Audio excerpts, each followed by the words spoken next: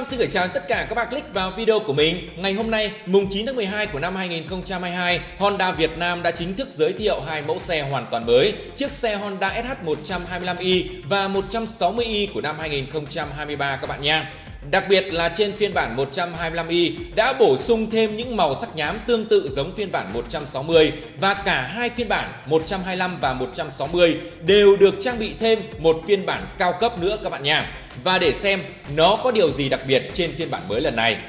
Đây các bạn có thể theo dõi với hai màu sắc trên phiên bản cao cấp của mẫu xe Honda SH đều có trên cả hai phiên bản 125i và 160i với những màu sắc cơ bản thôi là màu đỏ đô và màu trắng bóng. Tuy nhiên Honda Việt Nam có bổ sung thêm với hệ thống à, yên xe này được sơn màu nâu và vị trí để chân cũng được sơn màu nâu các bạn nha. Đây các bạn có thể nhìn cận cảnh chi tiết cho mình luôn. Và đây tiếp theo là những phiên bản tiêu chuẩn thì những phiên bản tiêu chuẩn này các bạn cũng đã theo dõi rất kỹ rồi. Về cơ bản thì nó chỉ thay đổi một chút ở phần mâm xe được sơn đen thôi. Trước đây thì những phiên bản là tiêu chuẩn đều được sơn trắng ở một số những cái màu sắc. Cùng với đó là cái à, trọng lượng của xe vẫn giữ tương tự. Trên phiên bản phanh CPS là 133 kg và phanh APS là 134 kg các bạn nha. Còn lại mọi thông số kỹ thuật đều tương tự giống nhau. Các bạn có thể theo dõi trên phiên bản Honda SH125i năm 2023 ở đây.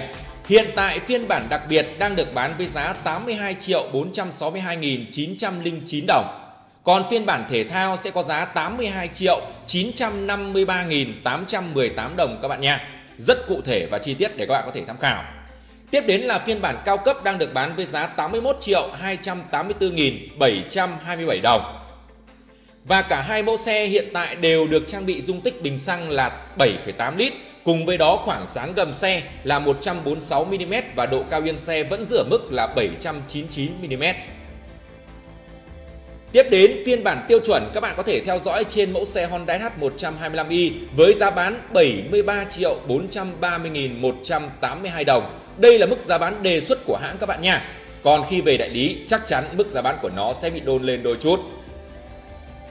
Với phiên bản 125i đang cho ra công suất vào khoảng tầm 9,6 kW, còn phiên bản 160i với khối động cơ vẫn tương tự như cũ chỉ nâng lên và đổi tên thôi. Nên ấy, cái mức nâng cấp này thì khối công suất à, tối đa của nó vẫn giữ ở mức là 12,4 kW tại vòng tua máy 8.500 vòng trên phút. Phiên bản đặc biệt và phiên bản thể thao các bạn có thể theo dõi giá trên màn hình đều trên 100 triệu.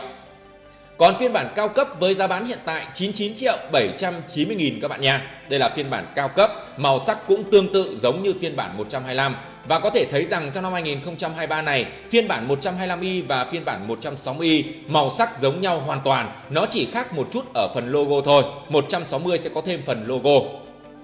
Còn phiên bản tiêu chuẩn trên mẫu xe Honda SH 160i năm 2023 ấy, sẽ có thêm phiên bản tiêu chuẩn này với giá là 91 triệu 790 nghìn.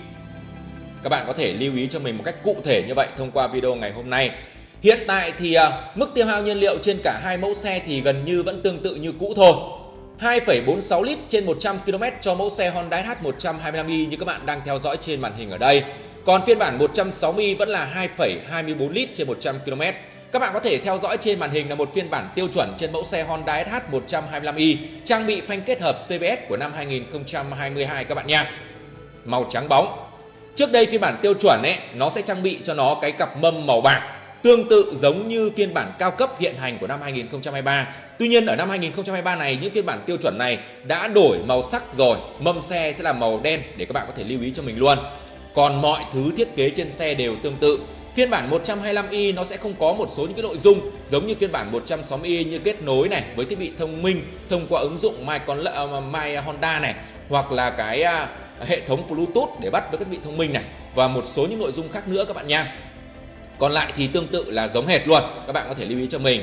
Và một điểm các bạn có hay hỏi rất nhiều và mình cũng đã đưa ra để các bạn có thể theo dõi thêm là phiên bản trang bị hệ thống phanh kết hợp CBS ấy, nó sẽ có ngàm phanh Nissin 3 piston. Còn phiên bản trang bị hệ thống phanh chống bó cứng ABS nó sẽ chỉ có ngàm phanh Nissin 2 piston mà thôi. Đây là một cái điểm mà các bạn có thể lưu ý. Các bạn không để ý sẽ không thấy rõ được điều này đâu. Trên phiên bản 125 sẽ không có logo 125 đâu các bạn nha, mà chỉ trên phiên bản 160 mới có thôi. Và điểm đặc biệt hơn nữa là trên những cái màu sắc đặc biệt và cao cấp của năm 2000 à, à, đặc biệt và thể thao của năm 2023 sẽ trang bị cho nó cặp phuộc được sơn màu đỏ. Cặp phuộc được sơn màu đỏ ở phần phía sau đây của xe này các bạn có thể lưu ý.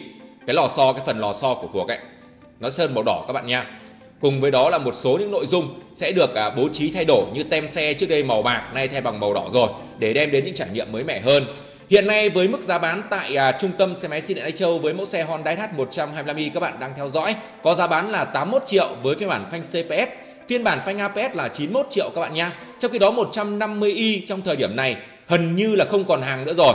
150i thì mình cũng xin phép được báo giá luôn nếu như các bạn nào có tham khảo thêm. Phiên bản phanh CPS 93 triệu 500, phiên bản phanh à, APS 115 triệu. Đen M của năm 2022 có giá bán 116 triệu và phiên bản màu xám đen phiên bản mà phiên bản thể thao ấy, hiện tại có giá bán cao nhất là 122 triệu trong thời điểm này. Đó là mức giá bán tại đại lý và mình nghĩ rằng khi những mẫu xe này mới về, sẽ có mức giá bán tương đương và thậm chí còn cao hơn so với mức giá bán hiện hành trong thời điểm này tại trung tâm xe máy Sơn Lai Châu.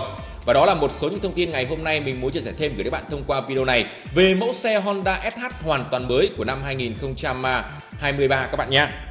Hoàn toàn mới của năm 2023 để đem đến cho các bạn những trải nghiệm mới mẻ hơn, ok hơn rất nhiều trên những mẫu xe của mình để làm sao có cho mình những sự lựa chọn với mẫu xe Honda SH đặc biệt là với những gì mình đã chia sẻ với các bạn. Thì trong lần này Honda chỉ nâng cấp với tên gọi từ phiên bản 150i lên 160i mà thôi. Kèm theo đó nữa là bổ sung thêm một số những cái màu sắc mới.